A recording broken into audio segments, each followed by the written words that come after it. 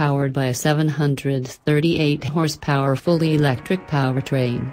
The Vision Mercedes Maybach 6 Cabriolet is said to be able to travel more than 200 miles on the charge. A quick charging system can add 60 miles of range in 5 minutes, the company said. There are four electric motors, one for each wheel, allowing for all-wheel drive and torque vectoring functionality.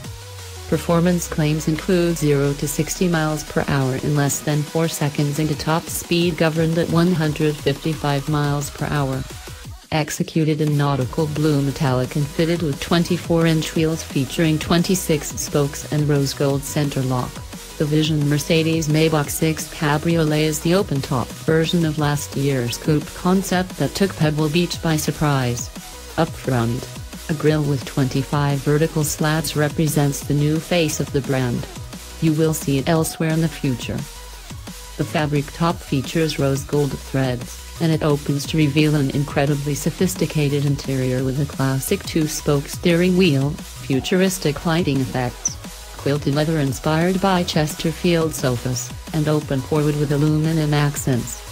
The digital instrumentation incorporates physical needles, elements that Daimler describes as hyper-analog. The planked wooden floor plays up a maritime theme. Being an electric car, the 6's incredibly long front end, with its twin center